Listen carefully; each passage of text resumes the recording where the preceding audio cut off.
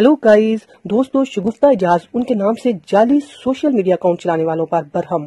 Senior अदाकारा शगुफ्ता एजाज ने उनके नाम से जाली सोशल मीडिया अकाउंट चलाने वालों पर बरहमी का इजहार करते हुए उन्होंने अकाउंट डिलीट करने का कह दिया। वो स्टाइल अदाकारा ने सोशल मीडिया स्टोरी शेयर करते हुए अदाकारा ने इनके नाम से जाली पैगाम शेयर करने वालों को ऐसा करने से बाज रहने का कह दिया।